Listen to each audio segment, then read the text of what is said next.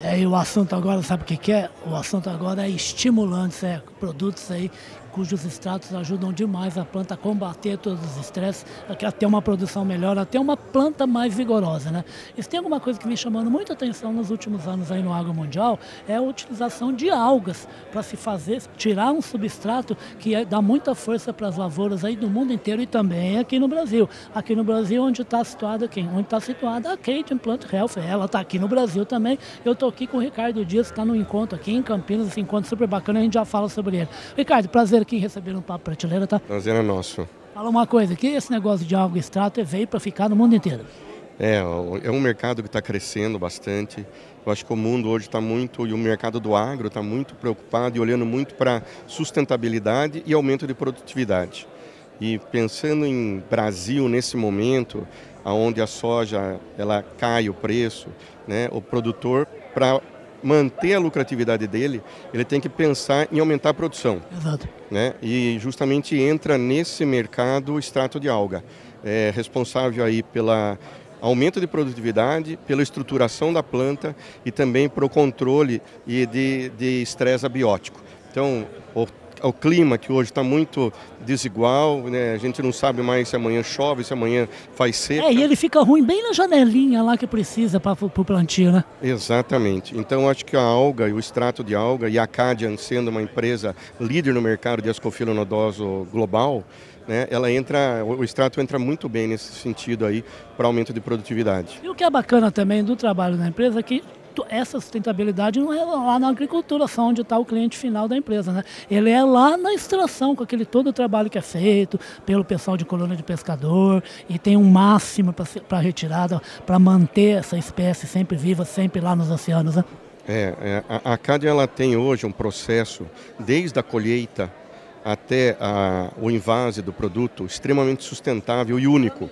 Um processo desenvolvido na própria empresa, e que a gente consegue manter as, a qualidade e os bioativos que a alga produziu durante a vida dela. E que fez com que ela conseguisse sobreviver lá naquela região, né? Exatamente, uma, uma, uma região super inóspita, de temperaturas é, abaixo de 30 graus no inverno e 30 graus no verão, vivendo em condições de água marinha, em seca, durante, em época de maré é, baixa durante o dia, que ela fica exposta ao sol. Exato. E com isso tudo, essa alga construiu né, é, bioativos metabólitos para sobreviver a essas condições. Perfeito. O que, que a Acadian faz? Ela, com, a Acadian, com muito cuidado, extrai esse metabólito que está pronto para a planta absorver e aplica na lavoura. Então, acho que é, esse processo faz da Acadian é, especialista em alga e especialista num produto único no mercado hoje em dia. Que maravilha. Fala uma coisa, a gente está aqui no evento, esse evento em Campinas, super legal, né? Gente aí do. Gente de vários países aqui da América Latina falando a respeito de tecnologias biológicas, né? E esse crescimento vertiginoso de produtos biológicos é um crescimento também que vem impactando também o negócio e os extratos à base de algas como o que a Caidian faz? Exatamente. É, os últimos três anos, ah nós tivemos um crescimento aí no Brasil em torno de 35%. Isso é até maior, então. É, e foi. E, e, e, e, tem uma coisa muito interessante nisso. Nós temos uma parceria com a Copert. A Copert distribui. Sim, para distribuição no Brasil, né? distribuição no Brasil, uma formulação nossa de 29%.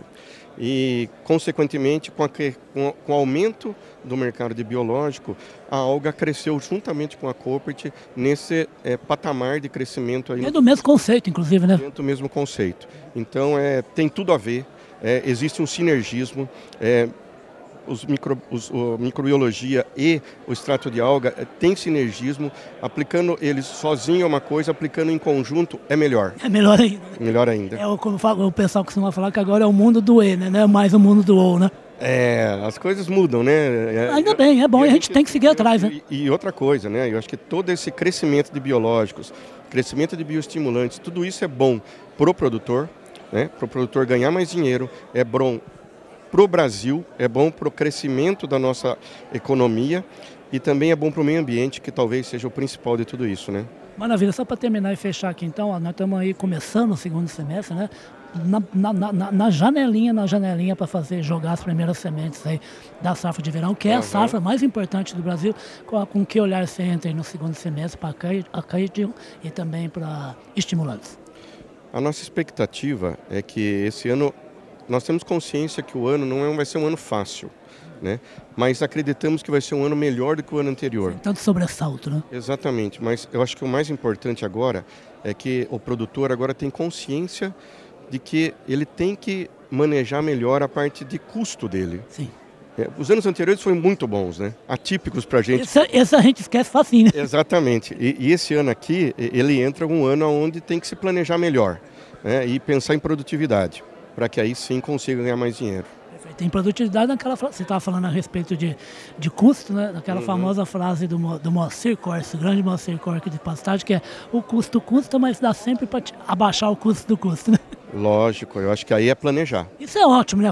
Se pensar assim, principalmente quando fala em biológico também, agora estimulantes, a gente falar em relação a, não é para desperdiçar nada, seja uhum. um momento bom ou ruim, seja o produto que for, né? Exatamente. É... Joga na planta certa, no momento certo. É o momento de parar, planejar, pensar e fazer a coisa certa na hora certa. E o produto certo, né? Exatamente.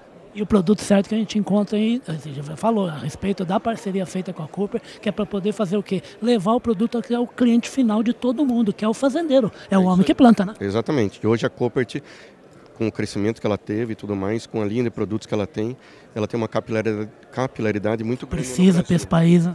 E por isso que a nossa parceria vem dando tanto certo.